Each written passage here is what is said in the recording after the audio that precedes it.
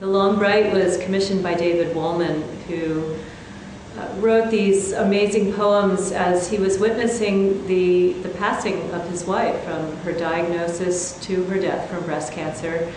And he wanted to create an event that would raise money for breast cancer research in her honor, Annie Baker's honor. And I had the, the pleasure and, and the great honor of knowing Annie Baker at, uh, near the end of her life. She was just an amazing, radiant woman who loved music, loved life, and great musician, beautiful soprano um, who sang art music and Broadway and opera, and was a great lover of music of all kinds, especially new music.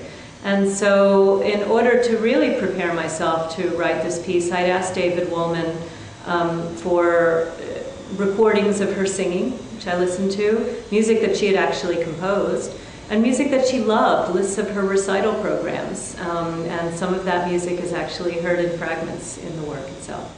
This was a very challenging uh, project for me, as you can well understand, writing a piece about breast cancer uh, to the words of a man who's lost his wife to breast cancer. And um, I began with um, interviewing a lot of breast cancer survivors and talking to them about their experience. I read books about death and dying, um, both from the Eastern and Western perspectives. Um, I looked at a lot of books of artwork done by breast cancer survivors and how they were expressing uh, what they had been through through art. So there was a, a, period of maybe six to eight months of just research and uh, finding a way in to be able to create a world of healing through this piece. When I started to write this piece, I was in Germany at the time touring with a dance company, and I took David's poems with me to work with because when I write a vocal piece, I always start with the words. They, they're really the, the force behind all of the music.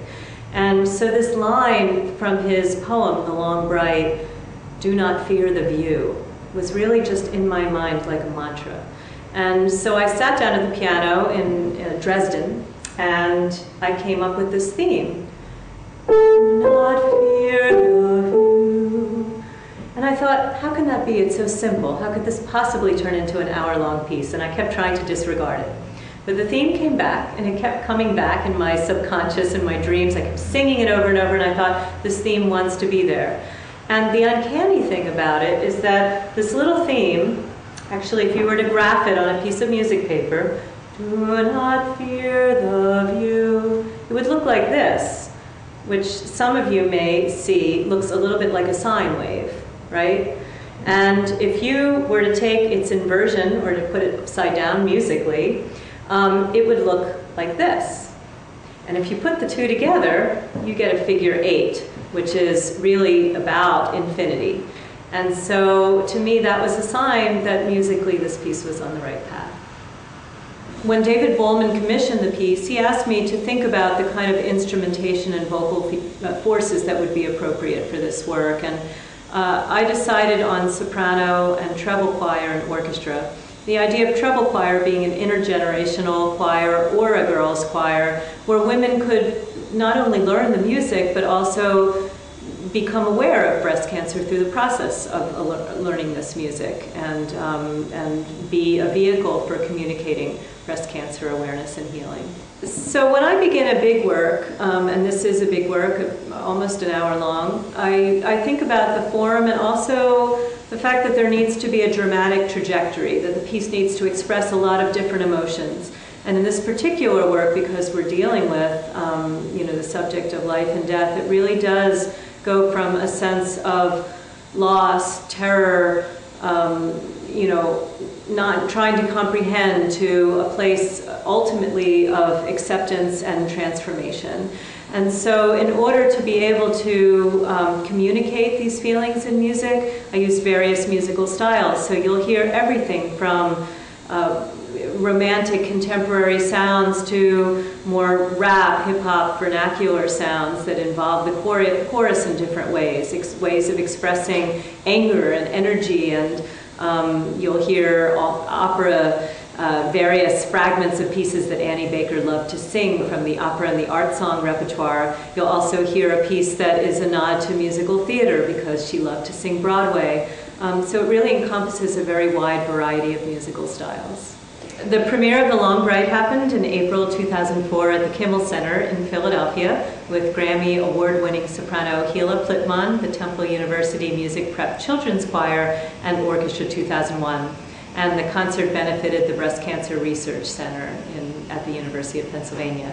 The piece was received very well. The concert was sold out and um, it got a standing ovation. And uh, we were quite pleased, I think, with, with the reaction, but also with the, the monetary benefits as well. We raised over $40,000 for breast cancer research. I'm really excited about coming to LA to uh, hear the West Coast premiere of this work with the Los Angeles Jewish Symphony, a wonderful orchestra led by my dear friend Noreen Green, who's premiered several of my pieces and also working with Hila Plitmann again. And I think that because the piece was premiered by a children's choir and now we're having the chance to perform it with an intergenerational women's choir, I feel that there is going to be a deepening of the text uh, with this Kol Isha choir. And uh, Hila Plitmann, I, I, had the honor of, uh, great pleasure of working with her in a, another oratorio that was performed by, premiered by the Los Angeles Jewish Symphony, and Hila was the soloist. And so uh, I was thrilled that she could uh, be the soloist in this piece as well. She's really a, a, dream to work with in every way.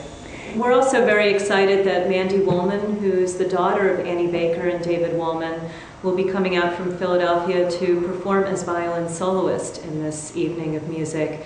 Uh, she's a beautiful young woman, and um, I think that it'll be very moving to have her uh, perform in commemoration of her mother and those who have died from breast cancer. I also think that it's, it's really significant that the piece is benefiting the Israel Cancer Research Fund. I think this piece is an emotional journey and it's about the cycle of life. And I think that everybody can relate to it in one way or another. And it, it hopefully will move you and take you to new places that feel familiar in yourselves and maybe even take you to new places where you're, you're stimulated, you're, um, you're transformed in some way. I mean, I think that's really the, the goal and, and the essence of the piece and of music itself.